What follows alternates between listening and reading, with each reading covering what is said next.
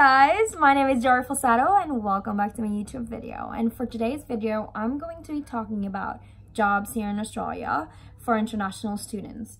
And um, since I filmed the video how I got my student visa here in Australia, I had people asking me questions that can um, a student work as a part-time?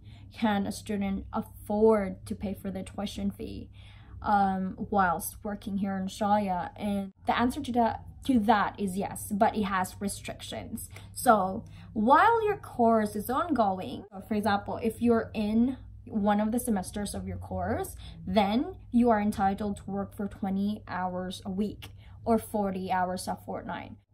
But whenever you're on your break or semestral breaks, Christmas breaks, whatever break you have, you have the opportunity to work for full time. So you have to take note of that. And you have to take note that while your course is ongoing, you can't go over your hours because that is written in your visa. That is your restrictions. Yeah.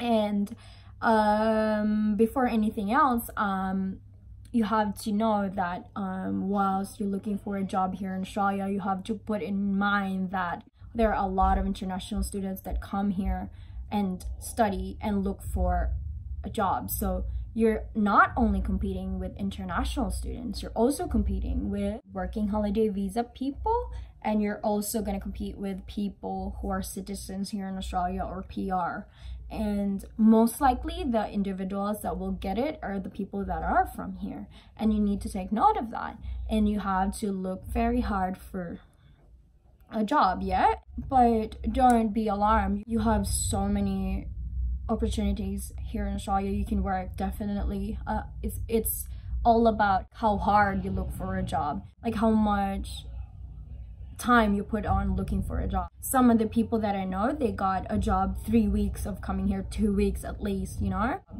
And at the same time, you need to take note that you always have to um, come to classes you know you have to come to classes for 80% of your attendance so you need to be there.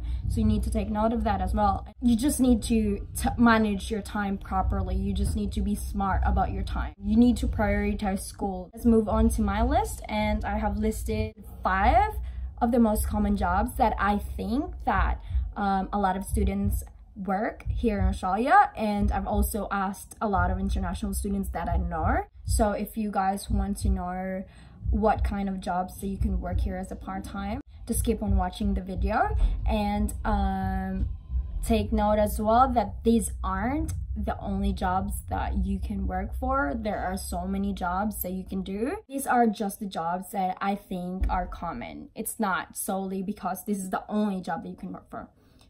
So yeah without further ado let's start with our list. And number one on my list is um, the retail job so retail job, you really need to have good English communication skills.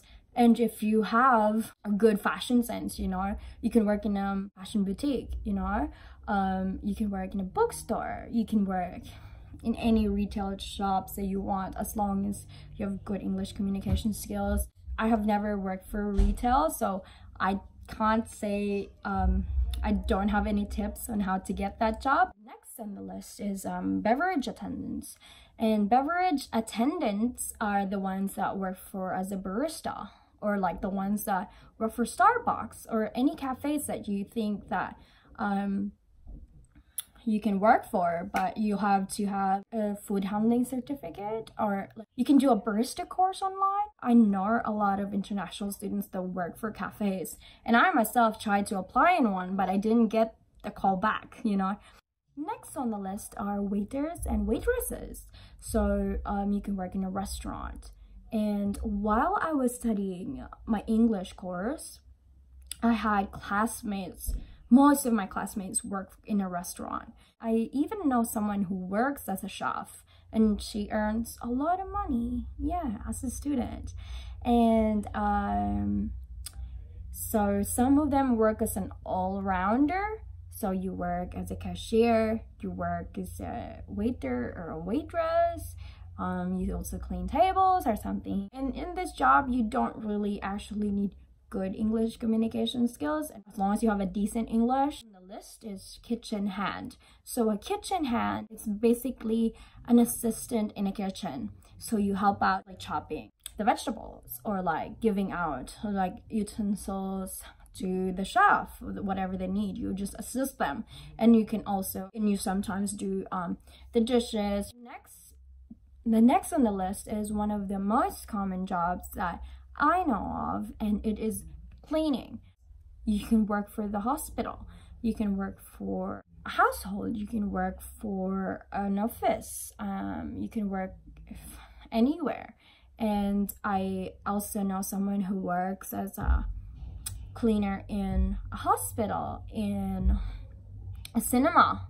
And I know someone who works as a cleaner in a stadium. Imagine cleaning a stadium.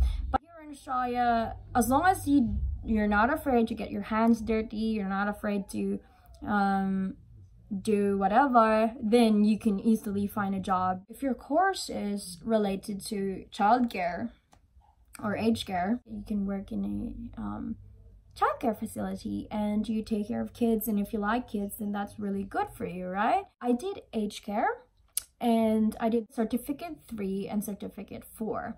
And with that, um, when I finished my certificate three, I had the opportunity to work in an aged care facility where I had to take care of um, elderly individuals and those in elderly individuals some of them are independent some of them are experiencing dementia and um you know dementia demented people they have no um, control with their emotions and sometimes they have no control of their actions and you need to have patience with that. And if you're good with people and you don't mind um, um, the behaviors then you can study aged care as well like I did and um, I've already finished that course and I'm moving on to I'm moving forward to nursing. And hopefully fingers crossed if God allows me to um, in the near future I'm going to be an Australian nurse. And yeah I'm looking forward to that. And so guys I think that's about it with my list. And if you guys are international students watching this video and you think there's something that I didn't say and you want to say to the other viewers, you can comment it down below. And if you think you have further recommendations or comments, questions, reactions, or whatsoever, you can also comment that down below. And if you guys haven't subscribed to my channel, please surely do. Click the subscribe button and hit the notification bell if you want to be notified for my future posts about my life here in Australia. If you guys have reached up till the end of this video, I just want to say thank you. And I hope you guys have a lovely rest of the week. And this is Jorefel Sato saying bye-bye and I'll see you in my next video.